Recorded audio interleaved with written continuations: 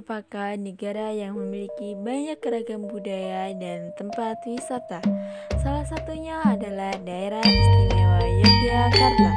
Yogyakarta adalah kota kesultanan, sering juga disebut sebagai kota pelajar. Yogyakarta memiliki banyak sudut sejarah dan wisata. Orang-orangnya yang ramah membuat kita nyaman berkunjung dan terkadang rindu selalu datang menghampiri. Yogyakarta kota yang terbuat dari rindu, di mana rasa ingin kembali selalu hadir dalam hati. Ini adalah Museum Ki Hajar Dewantara, Bapak Pendidikan Indonesia dan merupakan pendiri dari Universitas Sarjana Wiyata Taman Siswa Yogyakarta. Salah satu tempat yang ramai dikunjungi adalah 0 km. Di sini adalah salah satu tempat yang ramai dikunjungi turis lokal dan turis luar. Oh iya, karena Jogja adalah kota pelajar, maka banyak mahasiswa yang menjadikan tempat ini sebagai tempat menghabiskan akhir pekan. Hal ini yang membuat semakin ramai di mana 0 km kita dapat melihat beberapa kursi taman yang tersedia yang menambahkan kenyamanan pengunjung. Dihiasi pula oleh lampu-lampu dan gedung-gedung tua peninggalan kolonial Belanda.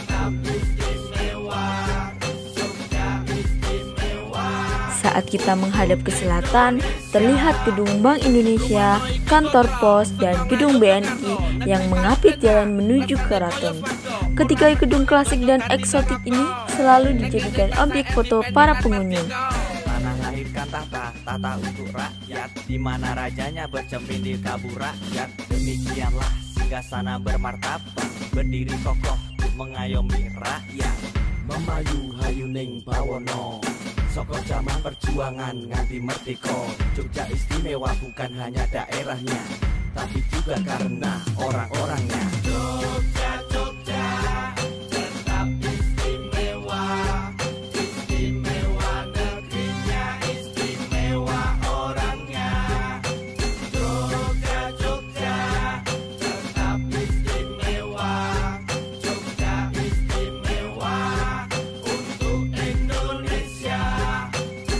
Tabur wis ditabur suling wis muni. Kolo wis kontrol baris. Ayo dadi siji bareng para prajurit. Lan senopati Mukti utawa mati. Manunggal kawula Gusti. Menyerang tanpa pasukan Menang tanpa merendahkan. Kesaktian tanpa ajian Kekayaan tanpa kemewahan. Tenang bagai ombak gemuruh laksana merapi. Tradisi hidup di tengah modernisasi. Rakyat dijajah desa tori Seni lan budi pekerti Jogja, Jogja tetap istimewa. Istimewa negerinya, istimewa orangnya. Jogja, Jogja tetap istimewa. Jogja istimewa untuk Indonesia. Elingo sabdane Sri Sultan Hamengkubuwono Kubono kaping songo Sak dhuwur-dhuwure sinau kudune dhewe tetep wong Jawa. Diumpamake kacang kang ora ninggalke lancaran. Para bumi sing lainke dhewe kang tansah kelingan. Ing sung tulodo ing madya mangun karso tutwuri handayani holopes kontul baris ayo dadi siji sepi ing pamre rame ing gawe. Sejarah ning kene wis buktekake Jogja istimewa bukan hanya untuk dirinya. Jogja istimewa untuk Indonesia. Jogja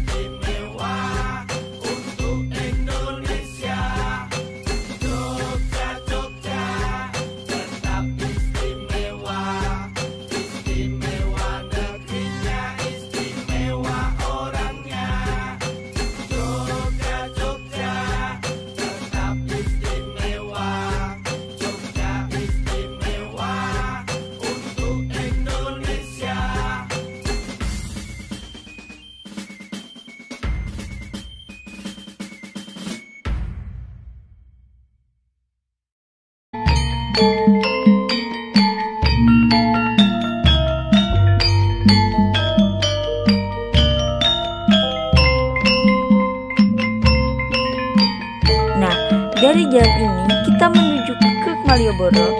Sebagai jalan utama, kita akan mendapati Istana Negara, Benteng Vanderburg, dan Monumen Serangan Umum 1 Maret. Monumen ini merupakan bukti bahwa persimpangan ini memiliki nilai historis yang tinggi.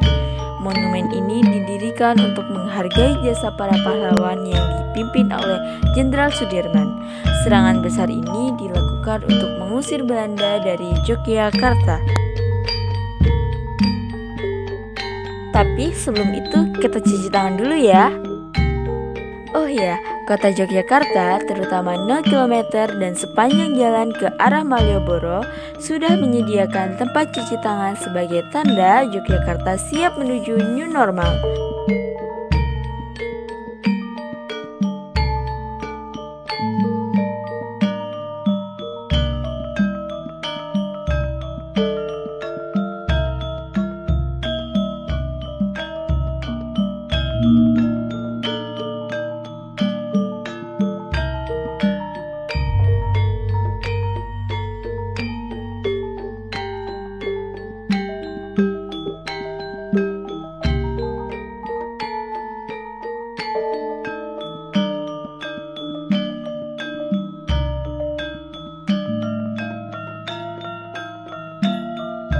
Malioboro merupakan jantung kota Yogyakarta. Kata orang-orang, Malioboro merupakan pusat belanja legendaris di Yogyakarta. Tempat ini juga merupakan tempat teramai setelah 0 km. Setelah orang-orang ke 0 km, pasti tidak lupa untuk mampir ke tempat ini, di mana di sepanjang jalan Malioboro banyak orang-orang berjualan batik-batik dan makanan-makanan khas Yogyakarta. Salah satunya yaitu bakpia, di mana orang-orang tidak asing lagi dengan bakpia. Di mana bakpia dijadikan salah satu oleh-oleh favorit yang dibawa pulang oleh wisatawan.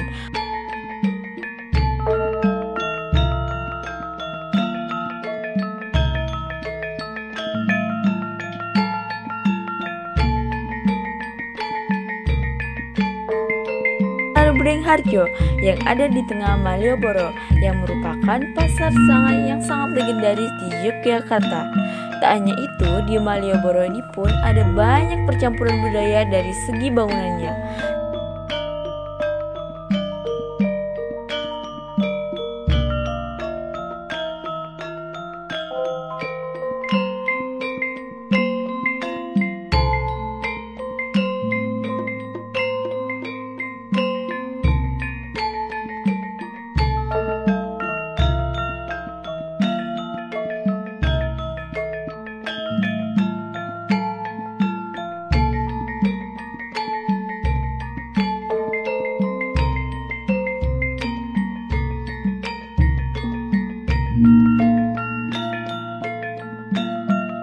Salah satunya yaitu Desa Ketandan.